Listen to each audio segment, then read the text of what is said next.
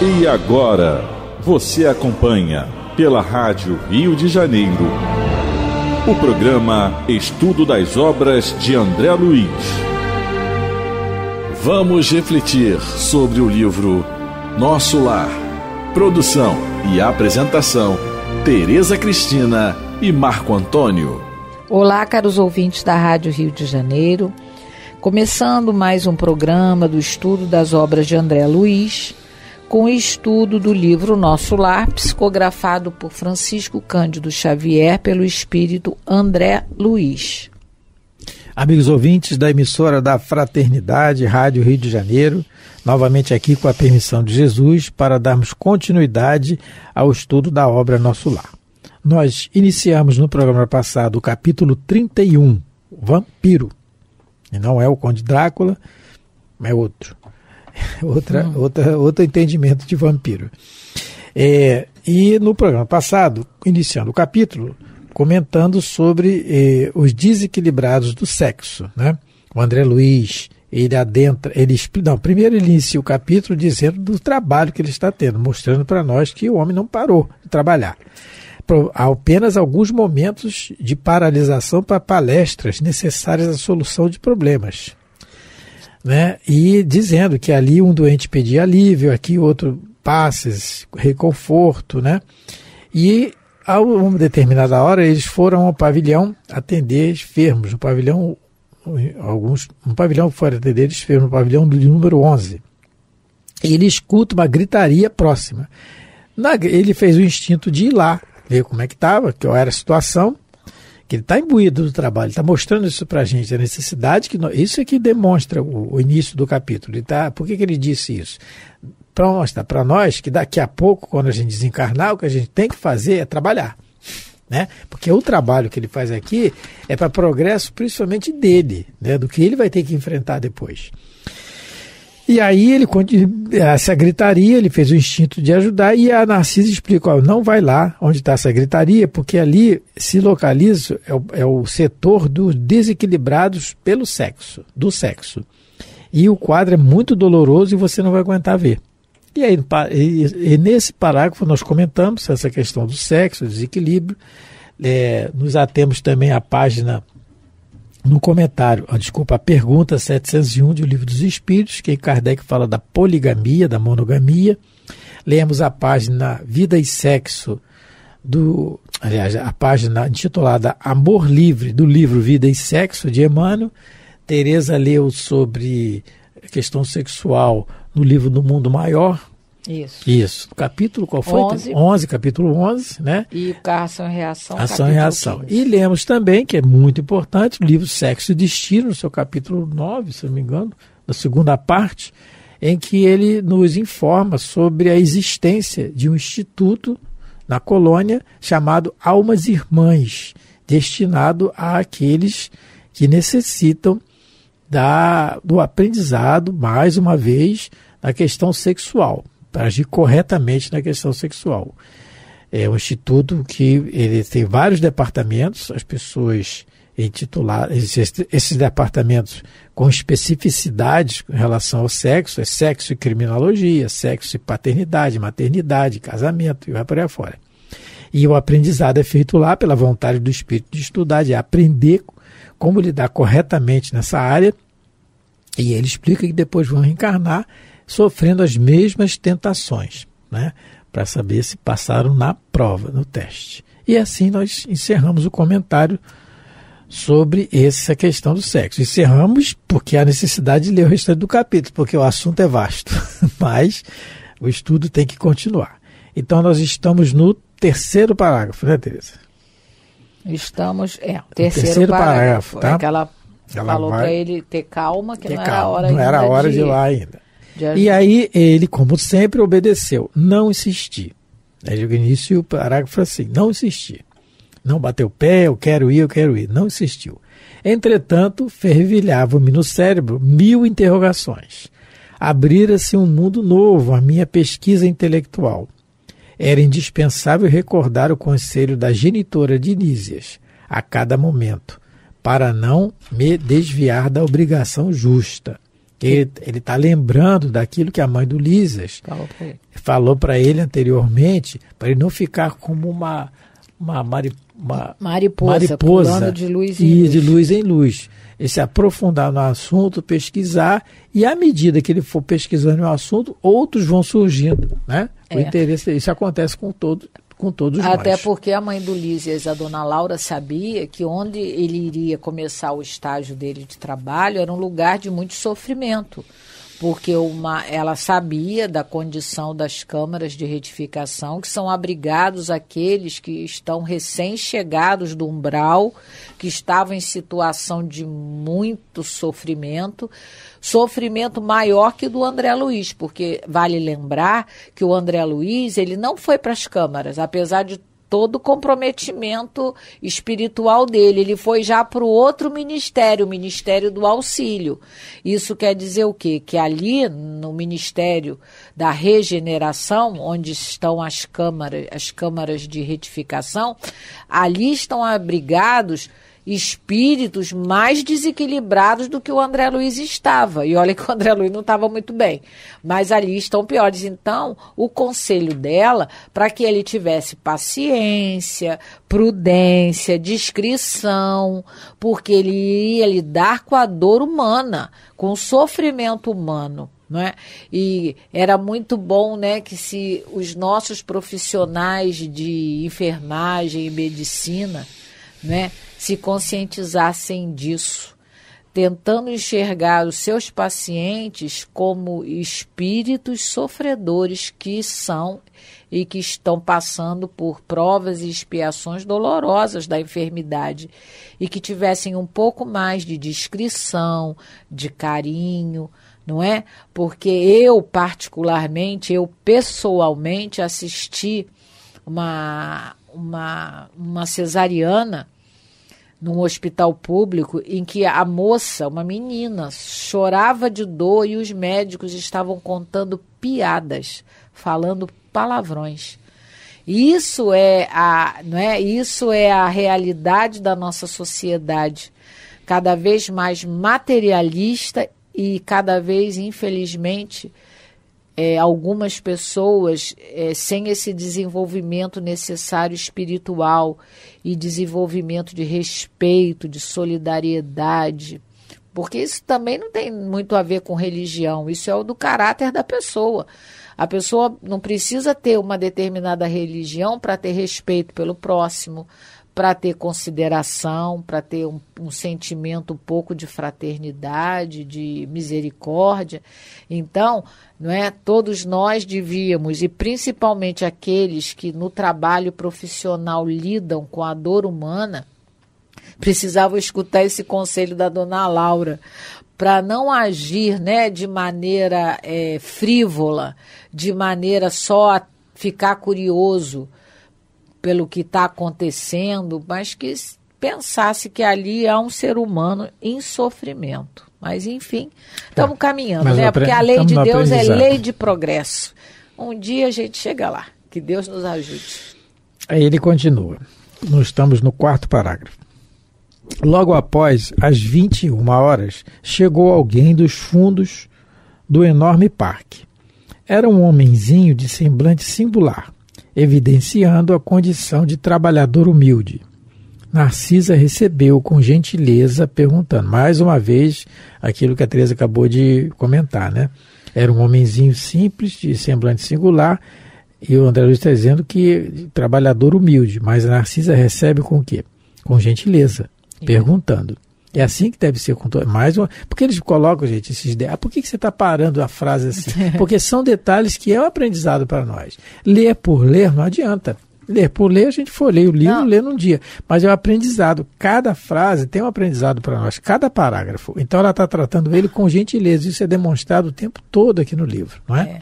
Não, e quando o Marco coloca que a gente tem que estudar, porque por enquanto a gente só está conseguindo ver isso quando a gente evoluir mais, a, a gente, gente vai, vai, reler esse livro. É o assunto daqui aqui, a pouco do, do a, livro. A, é o assunto daqui a pouco do livro, isso é a visão que vai aumentando. A gente vai. É. é. porque, ó, eu lembro aqui do livro Obreiros da Vida Eterna, não é? Quando o Asclépios vem. Isso, isso, né? No livro Obreiros da Vida Eterna, que é um dos livros da série é. de André Luiz, ele acho que é o quarto livro da. Acho que é o quarto, né, Marco? Marco, é, vê aí é. na. É, Aí eu quarto, acho que é. É o quarto. É o quarto. Acertou isso. O André Luiz, ele, né, ele vê que algumas pessoas estão com problemas na colônia, trabalhadores, e vão questionar esse espírito que vem de esferas superiores da Terra, que se materializa em nosso lar. Mas o que que ele traz de resposta? O que qual é a resposta que ele dá para os trabalhadores que estão com dificuldade? Ele simplesmente repete o evangelho, sinal que eles lá nessa esfera superior, porque o Asclépio já não tem mais a forma humana onde ele habita. Eles continuam estudando, porque com a evolução intelectual e moral do ser, a sua visão aumenta. Então, como o Marco colocou, tudo que a gente, todos os detalhes aqui não são colocados e esse, assim. E o detalhe, toa. esse visitante, esse, esse Asclep, o Asclep, quando vem, o, o, título do capítulo é Visitante Sublime, quando ele vem, as pessoas, ele, as, são permitidas algumas pessoas a perguntarem as coisas a ele, alguns isso. problemas. Está acontecendo isso, o que, que eu faço? Ele abre o evangelho, toda a resposta, ele só abre o evangelho é. e lê uma frase de Jesus. A visão dele Porque já é muito a, maior. a frase é a mesma através dos séculos. O problema é o entendimento daquela frase não é? é? O entendimento que o Chico tem do Evangelho é um, o que eu tenho. Com certeza é Louvado outro. seja, é outro, né? Ah, então... E um detalhe aqui que ele coloca, só para a gente ver: ele coloca um enorme parque. Enorme é grande. Porque a gente tem que entender que a colônia Nosso Lar, ela não é uma, um lugar pequenininho, não. É uma cidade, é uma cidade do tamanho do estado do Rio de Janeiro.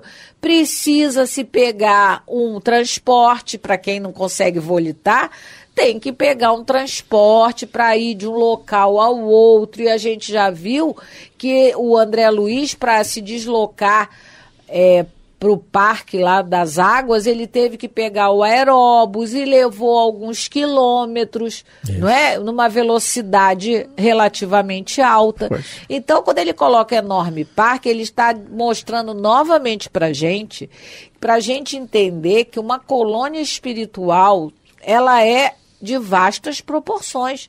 Ela, ele lembra quando ele foi nas câmaras de retificação, ele teve que descer uma escada vastíssima. É, é. Ele coloca, né, essa, esse adjetivo no superlativo para que a gente entenda isso que a colônia espiritual de nosso lar, ela é realmente o grande. O Instituto Almas Irmãs, que nós falamos no programa ele passado, falou que era quase uma quatro cidade. Quilômetros, quatro quilômetros quadrados de construções de parques. E, esses, e essas construções construções, edifícios e deve ter coisa subterrânea Sim. também. Então, quer dizer, é, são construções é, várias, Então, né? to, tudo que ele então, coloca não é, é à toa. É à toa. As, então, as ela diz aqui que recebeu com gentileza, né? Isso. Que é obrigação nossa com todos.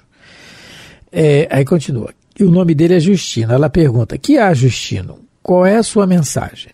O operário que integrava o corpo de sentinelas das câmaras de retificação respondeu aflito. Oh. Mais um aprendizado. Porque as câmaras de retificação têm sentinelas para tomar conta. Porque onde, o que, que tem nas câmaras de retificação? Pessoas que precisam ser. O que, que é retificar? É consertar. Pessoas que estão desequilibradas e precisam do reequilíbrio. O desequilíbrio passa pela. O nosso desequilíbrio passa pela nossa intolerância, pela nossa rebeldia. Então, não tem como não ter vigilância aqui.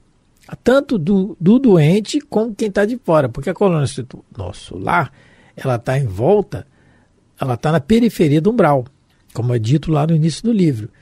Vizinha de espíritos ainda muito desequilibrados que não, não se permitem a cura. Isso está bem descrito no livro Obreiros da Vida Eterna. Então, que não se permitem a cura. E aí precisa de sentinela. Se o governador de nosso lar quisesse, ele tomava conta da colônia sozinho. Sozinho. Se Jesus quisesse, vamos botar mais adiante, ele é. tomava conta da terra sozinho, mas ele precisa, ele deixa que nós trabalhemos para a nossa melhora. É o caso aqui do Sentinela. Então tem gente, como o André Luiz, que está pesquisando, que está estudando, que está dando passe, que está socorrendo, que foi permitido a ele escrever para nós, podia ser outro, mas foi ele o escolhido. E tem gente que é sentinela, tem gente que é enfermeiro, que é tem gente que é médico, tem isso, tem aquilo. Cada um tem professor, tem professor, cada um na sua qualidade, né? O que prevalece lá é a hierarquia moral. Essa é obedecida automaticamente. É só Automa a gente pensar como aqui na Terra, aqui nos nossos condomínios, né, que são locais mais vastos, né, condomínios de casa, de é. edifícios, Sim. tem que ter segurança. Não, a gente não sabe disso porque a gente vive, não é, é muitas das vezes é, ombreando é, pessoas que ainda não tem um equilíbrio né, é, a nível moral satisfatório. E nosso lar é a mesma coisa, como o Marco colocou. Então, o trabalho do, do Justino é um trabalho muito importante. É. Como todos os trabalhos na Terra. Nós Só vamos que, por enquanto, na... a gente não valoriza isso. Nós vamos ver no Livação e Reação também a cabana do Orzil, que é um posto de socorro na região trevosa é que tem lá um, é um tipo, não é, é um posto de socorro bem assim, bem simples, que tem lá o Orzil, que é recém-chegado da, dessas enfermarias, está se melhorando, e deixa ele tomar conta de alguns doentes. Então, Isso. é esses exemplos que nós temos é, corriqueiramente nos livros. Continuando então. Venho participar, aí é o Justino falando, venho participar que uma infeliz mulher está pedindo socorro no grande portão que dá para os campos de cultura. Creio tenha passado despercebida aos vigilantes das primeiras linhas. Olha a grandiosidade do, do setor. Ele já falou que enorme parque, agora ele vem falando que o grande portão, o que, que é um grande portão? é, grande portão que dá para os campos de cultura, não é um campo, são campos de cultura e passou desapercebida aos vigilantes das primeiras linhas. Então tem linhas de vigilâncias. Os vigilantes, ele é um, ele está aqui, ó, é um dos que estão ali perto da cerca, deve ser assim, sei lá. E tem os, vigi os vigilantes das primeiras, então tem linhas divisórias cercando ali a colônia e tem os vigilantes de cada um que estão vigilando. E ele está dizendo, ó, deve ter passado pelo vigilante da primeira linha, eles, eles deixaram entrar. Vamos ver por quê também. Vamos ver o porquê. Uhum. Quer comentar alguma coisa? Não. E por que não a atendeu? interrogou a enfermeira. Quer dizer, por que, que você não atendeu ela? Aí o servidor fez um gesto de escrúpulo e explicou. Segundo as ordens, gesto de escrúpulo é aquele, aquele gesto que a gente faz com o corpo, não é? Né? Segundo as ordens que nos regem, não pude fazê-lo, porque a pobrezinha está rodeada de pontos negros. Então ele teve uma orientação para não é, para não atender quem está assim nessa situação. Ele não tem condições. Por quê? Vamos ver. Isso nós vamos ver por quê. A visão dele é limitada é. ainda. Até porque a função. Não, dele... ele conseguia ver o ponto negro. Os não... da primeira linha não conseguiram, não conseguiram. E aí deixaram passar. E aí deixou passar. É. E ela está rodeada de pontos negros. Quem me diz, revidou Narcisa. Ah, só lembrando que os pontos negros aqui são as marcas do perispírito dela. Se são pontos negros, é alguma coisa que tem na consciência que extravasa no nosso perispírito. Fazendo uma analogia, fazendo uma analogia enquanto encarnados aqui, por exemplo, vamos dar um exemplo.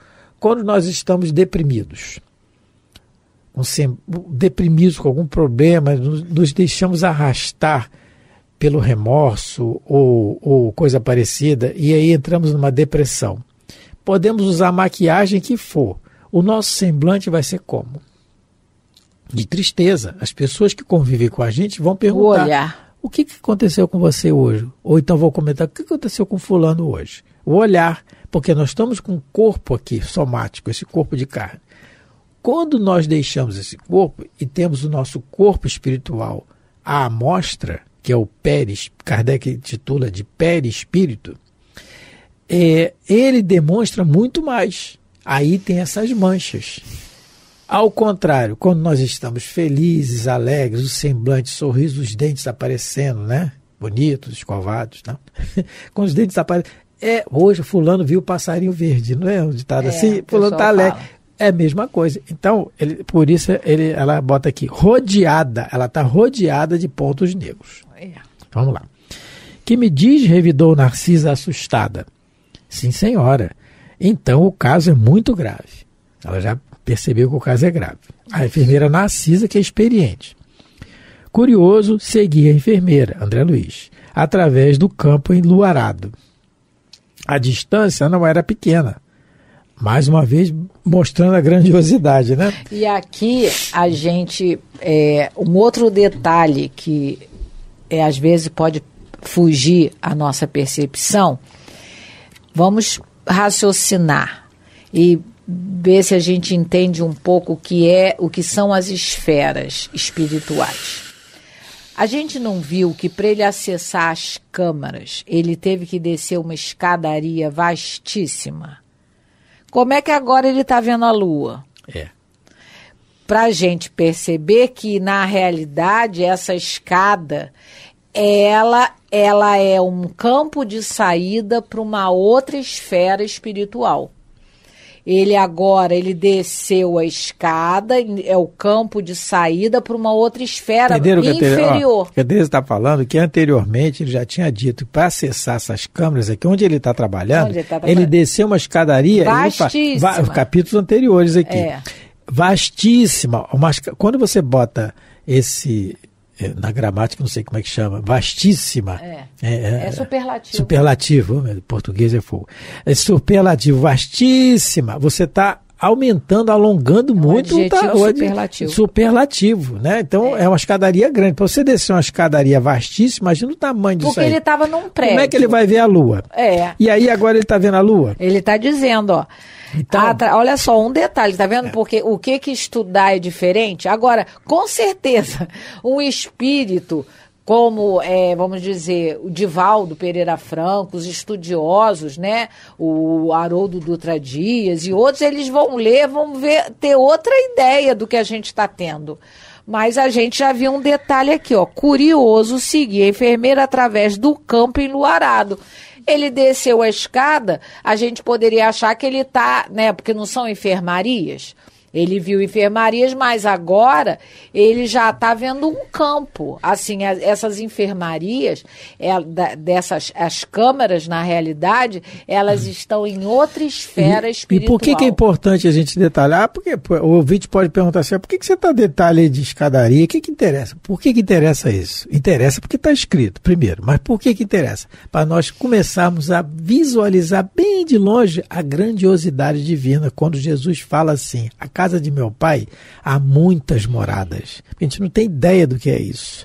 Então, a grandiosidade do mundo espiritual, da vida real, que é a vida do espírito. Uhum. Essa limitação que nós temos aqui, ela não é nada perto da grandiosidade da vida espiritual. É isso que eles, eles mostram aqui nos detalhes. Né? Isso. isso aí é importante a gente ver isso. Oh, ele novamente vai falar da distância. Então vamos continuar mais lá. um pouquinho, porque o tempo, o tempo aqui está rapidíssimo é, também. Pelo menos se terminar esse parágrafo. A distância não era pequena. Lado a lado via-se o arvoredo tranquilo do parque, muito extenso, agitado pelo vento caricioso.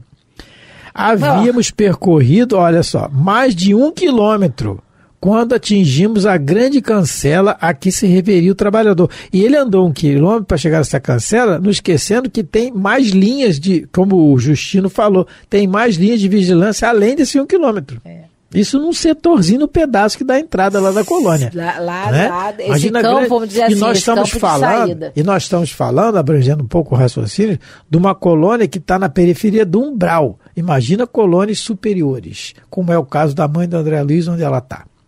Não é? é Imagina a grandiosidade e a beleza ter um disso. campo de saída também para é, lá. Tem. Só que aí não vai ser uma escada. Quando chegar no capítulo, a gente vai ver. É, vai ver qual é. Mas ele tem um outro um campo de saída para ir. Bom, então, então, é. então, é. então, esse detalhe do parque muito extenso, agitado, por que, que ele bota isso? Né? Ele bota da continuação da vida, ó, agitado pelo vento caricioso. É o vento que cai aqui né? o mesmo caricioso que bota nas nossas árvores na natureza. Da continuidade da vida para nós sempre raciocinarmos nisso.